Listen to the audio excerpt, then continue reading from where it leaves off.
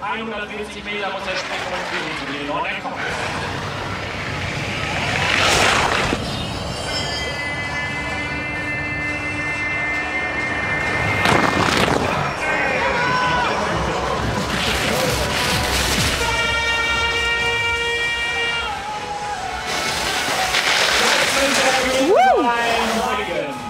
Und dann sind wir natürlich gespannt, was das Endergebnis sagt. Er ist deutlich über die grüne Linie gesprungen.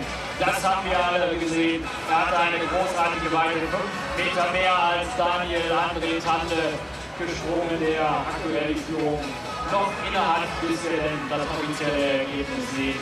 Und dann wahrscheinlich den siebten Tagessieg oder den siebten. Und das ist schon Congratulations to Norway. Alle Yeah, it was two two good jumps. Not uh, perfect, but they were really close. And uh, of course, I'm uh, really happy with the victory, and also uh, being together with Daniel on the podium is really nice. 285,5 Punkten. Hallo!